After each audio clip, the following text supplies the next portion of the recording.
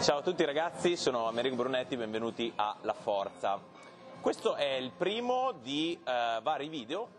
in cui andrò a descrivere, eh, prima a livello teorico e poi nel dettaglio, anche con alcune, alcuni focus di pratica, quella che è la logica dei punti di contatto. Um, in questo video guardiamo quelli che sono gli aspetti principali, gli aspetti anche teorici, quindi le giustificazioni anche dal punto di vista neurale e fisiologico di quello che è uno strumento, cioè la logica dei punti di contatto. Ma prima di partire con una descrizione teorica, voglio eh, darvi eh, in modo chiaro un'idea dei risultati che sono ottenibili attraverso questa eh, logica di allenamento.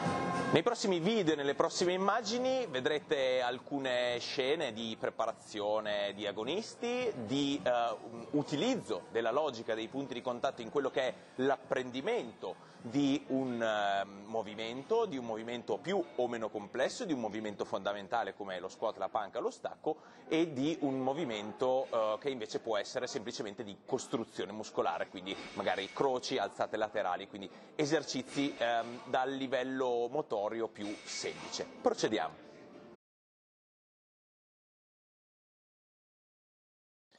Allora ragazzi, parlando di risultati, eh, vi eh, espongo la storia di Mattia Zanutto che eh, adesso molti di voi già conoscono perché si è affermato a livello internazionale nel natural bodybuilding agonistico. Qua lo vediamo alla mm, competizione che eh, precedeva il eh, periodo in cui iniziava a collaborare con me. Eh, vediamo delle buone masse muscolari, sicuramente una buona linea, viene da vari anni di ginnastica artistica e mh, mm, quello che però è eh, particolarmente interessante è come si è evoluto un fisico già eh, piuttosto predisposto. Questo è eh, Mattia Zanutto nel 2018 in preparazione ai campionati del mondo di eh,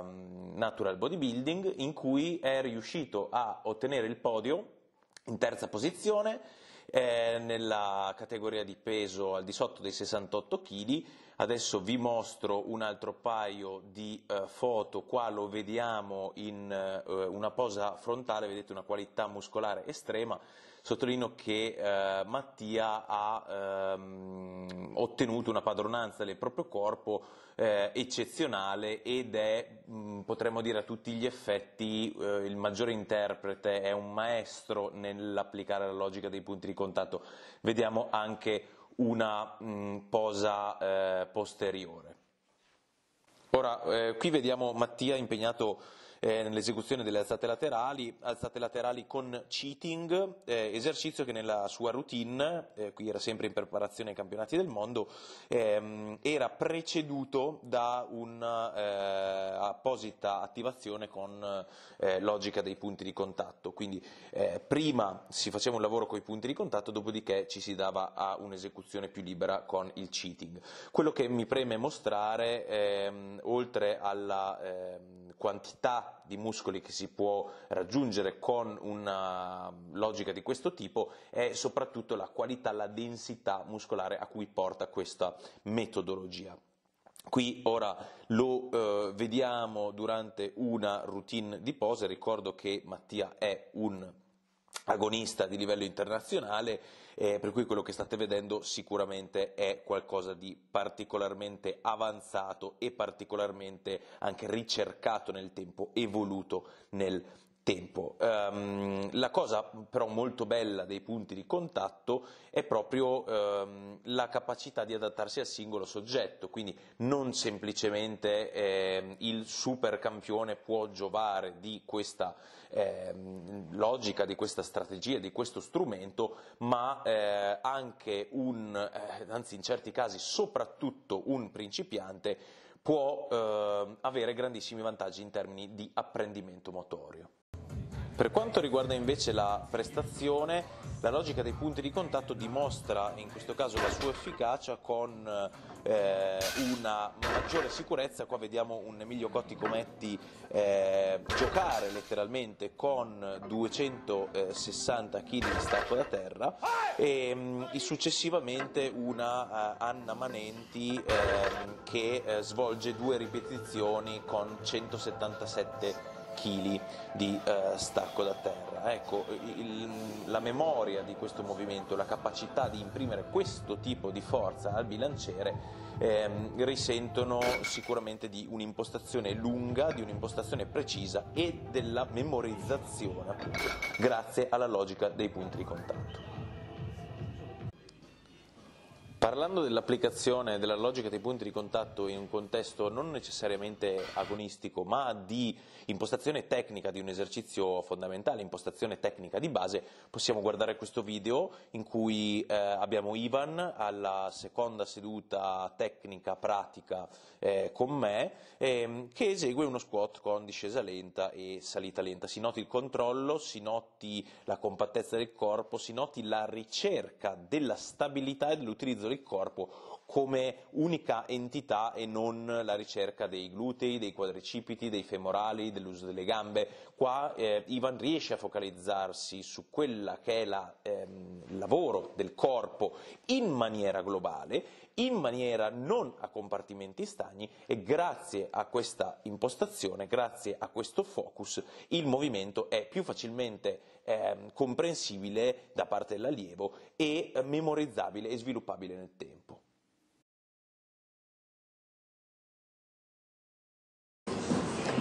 Che cos'è quindi la logica dei punti di contatto? Beh, la logica dei punti di contatto prima di tutto è uno strumento di apprendimento motorio ed è uno strumento che una volta che un allenatore riesce a padroneggiare permette di insegnare molto più velocemente dei movimenti assolutamente fisiologici, dei movimenti assolutamente eh, costruiti sulla persona e invece una volta che l'atleta eh, riesce a interiorizzare questo strumento, beh, eh, certamente può produrre dei movimenti, può svolgere svolgere degli esercizi con i pesi assolutamente ehm, calati sulla sua persona, quindi è anche in grado di evolvere i movimenti nel tempo, è anche in grado di personalizzare in autonomia il movimento di un esercizio svolto con i pesi.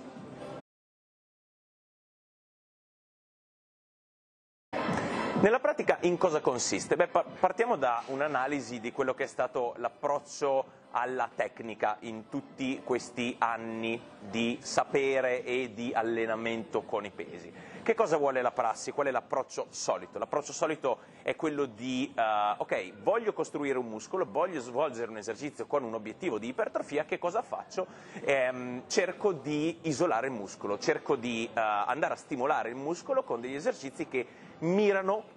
a eh, uno stimolo diretto della muscolatura. La logica dei punti di contatto si pone in contrasto con questo concetto perché? Fondamentalmente perché il corpo non è un insieme di tanti piccoli muscoli presi, messi uno insieme all'altro e alla fine ecco il corpo umano. Il, il nostro corpo è un sistema complesso e articolato di parti sinergiche, quindi ogni muscolo comunica con l'altro e proprio per questo il focus della logica dei punti di contatto vuole che l'atleta non si concentri a sentire il lavoro muscolare, a isolare il muscolo, a fare lavorare meno tutti gli stabilizzatori, tutti i muscoli di contorno, ma anzi riesca ad integrare il singolo muscolo all'interno di un'orchestra muscolare sinergica, che quindi va a creare un movimento sicuro, fisiologico e assolutamente sostenibile sostenibile nel tempo.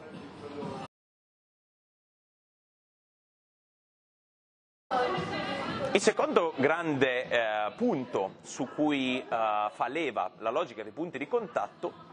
è eh, la capacità del nostro sistema nervoso Uh, non tanto di ragionare in termini muscolari, ma ragionare in termini di obiettivo motorio. Cosa significa? Significa che uh, noi, per uh, definizione come esseri umani, non abbiamo la capacità di scelta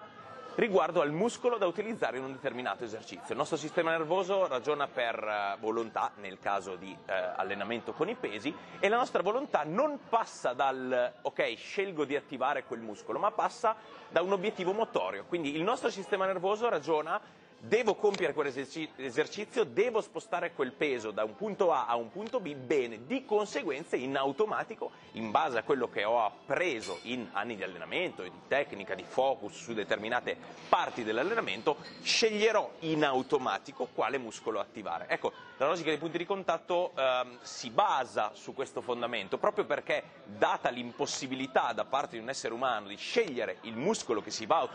ad utilizzare durante un esercizio, beh, eh, chiaramente per massimizzare l'effetto ipertrofico e per massimizzare quello che è l'effetto globale dell'allenamento è necessario intendere il sistema nervoso come una centralina che non comanda una piccola parte ma comanda un complesso di muscoli.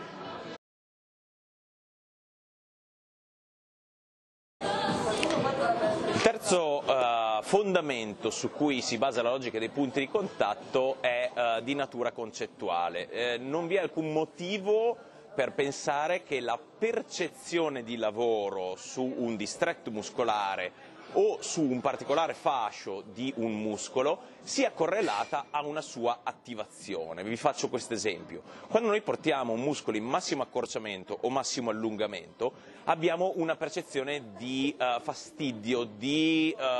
lavoro, una percezione di finta attivazione che potrebbe, potrebbe, molto spesso accade, portarci a svolgere degli esercizi con un ROM che um, consentono al muscolo di lavorare in massimo accorciamento e massimo allungamento. Ecco, la sensazione di lavoro che deriva da un esercizio che pone un muscolo in massimo allungamento e massimo accorciamento è assolutamente finta. Il ehm, segnale che viene mandato al corpo da parte dei ehm, recettori di allungamento e accorciamento muscolare è un semplice allarme, non ha nulla a che vedere con una futura ipertrofia e con una reale attivazione del 100% delle fibre di questo muscolo.